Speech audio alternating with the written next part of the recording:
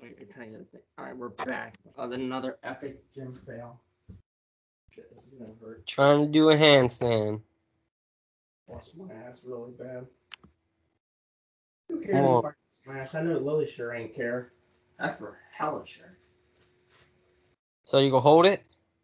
And then I'm gonna flip over backwards. Wait, I have to go like this first, I think, right? Wait, no. I have to just walk up the wall. Okay, I'm doing this slowly. I know she won't care, even if I die. I know you'll care. Shit, I'm gonna really hurt my back. Bro, if I miss, I'm gonna really screw my back up. I'm dead ass so scared, bro. Alright. That bony ass back. Shit.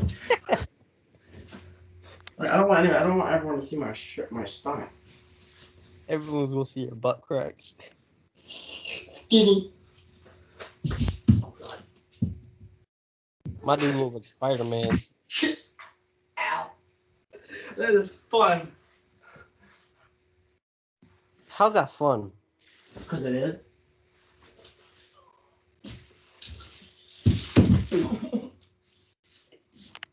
Fuck. Ah, that hurt. You can't even slide across your floor because you're chicken. That really did not work. Well, uh, okay. Now that I did a backward, back end overhand um, thing, you gotta do it too. It's not even that hard. Just put a pillow under your back and you won't hurt yourself. Did you do it? Yeah. Alright, clean this. Let watch. All right, we're still recording. Let's see. So, Hey, what's up, Mr. Dijak? Hey, buddy. I, mean, I don't want to pop a hole in the ceiling. Ouch. It hurts, doesn't it? That's one kind of. No, it's, it hurt because I landed wrong. I, yeah, the thing about it going up like this, Yeah. it's either I kick the light or I kick that, Yes.